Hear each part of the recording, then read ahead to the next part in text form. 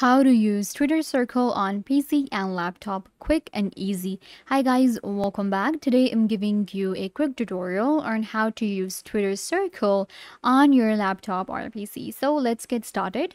First, what you guys need to do is you will log into your twitter.com to your Twitter account and this is where you will get. In order to avail the circle feature, make sure that you log in again so that you get all the updates.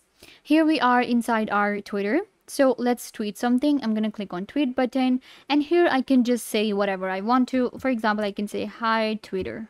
All right. Now you have to click on this option where it says everyone. Click on it and then you will have the option to choose audience everyone or a Twitter circle where we can add some close friends and create a Twitter circle for ourselves. So you can see I do not have any people here.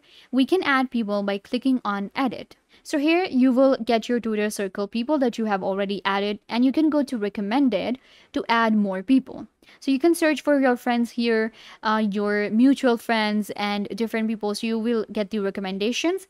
Click on add and they will be added to your Twitter circle.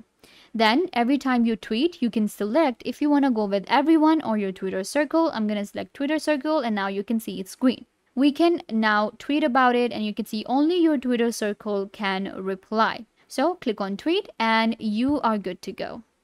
This is how you can go ahead and start using Twitter Circle on your laptop or PC. It's really easy.